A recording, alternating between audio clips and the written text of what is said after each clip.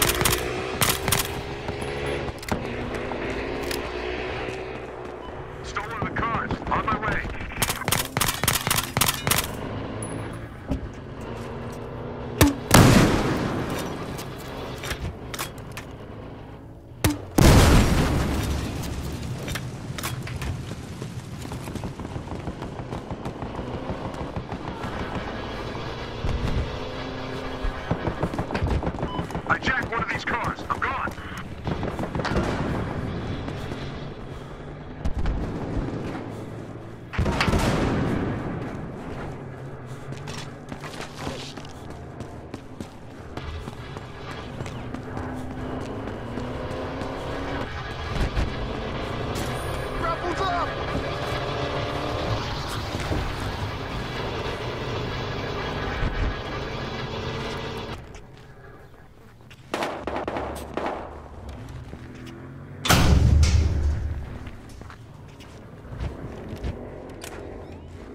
My zip line's in place.